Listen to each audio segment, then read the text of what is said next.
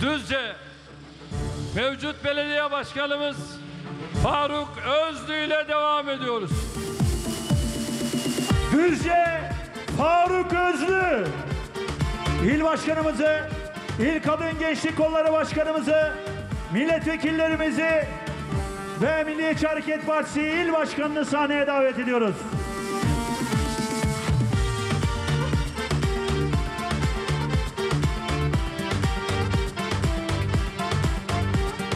Düzce aynı kararlılıkla yola devam diyor.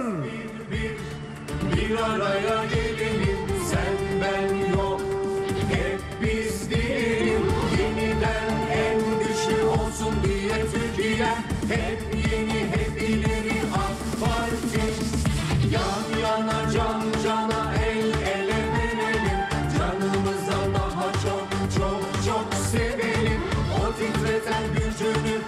olsun diye Türkiye'm hep yeni.